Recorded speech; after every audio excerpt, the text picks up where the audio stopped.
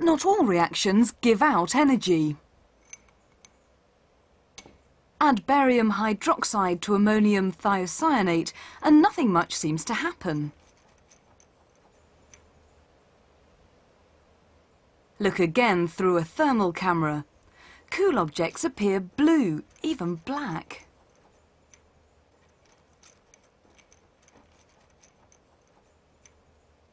The reaction is taking in energy from its surroundings.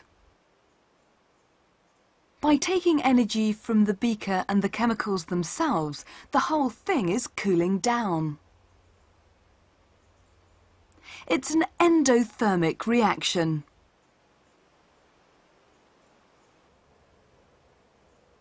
A probe shows how the temperature of the reaction mixture quickly falls.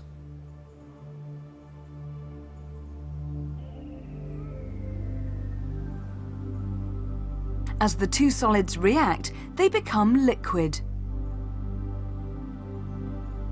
The temperature falls to below minus 11 degrees C.